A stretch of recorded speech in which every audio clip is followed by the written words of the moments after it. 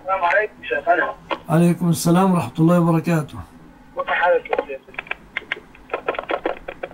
والله إني أش- أشهد الله إني أحبك بالله أحبك الله الذي أحببتنا له. تفضل. ما يا شيخ في الذين يسبون العلماء الكبار مثل النووي وابن حجر ويطعنون في إيمانهم. لا تلتفت لهذا. كن أنت في البناء تعلم دينك تعلم كتاب ربك وسنة نبيك ولا تلتفت لهؤلاء. الله يسلمك يا شيخ جزاك الله السلام عليكم. الله يبارك فيك.